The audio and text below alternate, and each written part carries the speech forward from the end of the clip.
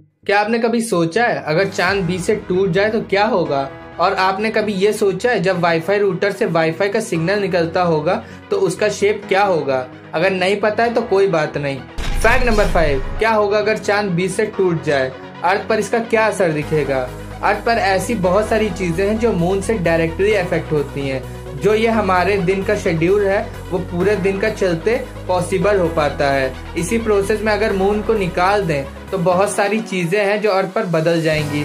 जैसे जो टाइड्स होते हैं, वो चाँद की वजह से ही क्रिएट होते हैं और जो समुन्दर की लहरें हैं, चाँद के ग्रेविटेशनल पुल के ही चलते मूव होती हैं। और भी बहुत सारी चीज़ें हैं जो चाँद के बीच से टूटने की वजह से नहीं हो पाएँगी।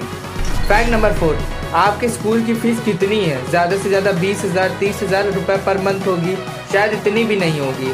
लेकिन इंडिया में कुछ ऐसे स्कूल हैं जहाँ पेरेंट्स एक महीने का लाख रुपए से भी ज़्यादा खर्च करते हैं अपने बच्चों की पढ़ाई के लिए।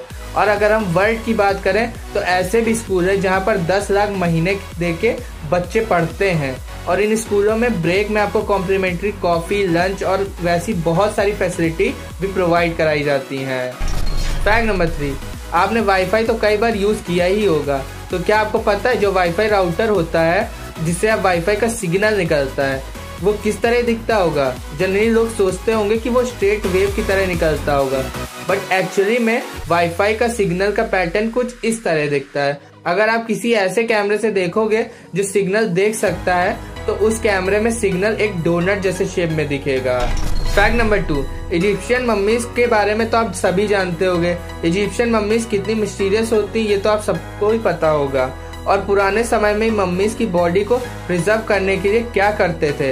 एक अजीब सी फाइंडिंग में पता चला है कि फेरोमेसिस फोर इनकी बॉडी मिली थी। एंशंट इजिप्ट में। और जब इनका इंस्पेक्शन किया गया, तब पता चला कि इनकी आँखों की जगह प्रिजर्व करने के लिए अनियन रखा गया था। और ये इसलिए था क्योंकि ये माना जाता है कि जो इजिप्शियन लोग होते हैं, वो ऑनियन को वर्शिप करते हैं। क्योंकि अनियन इंटरनल लाइफ को सिग्निफाई करता है। तो लास्ट ट्रैक की तरफ़ बढ़ने से पहले अगर वीडियो पसंद आ रहा हो तो चैनल को लाइक और सब्सक्राइब करना ना भूलें। फैक्ट नंबर वन एक पिक्चर ऐसी है जिसपे एलॉन मस्क ने भी रिएक्ट किया था। ये वो पिक्चर ही है। और इस पिक्चर की अमेजिंग बात यह है कि ये एक स्पेसशिप का पार्ट है।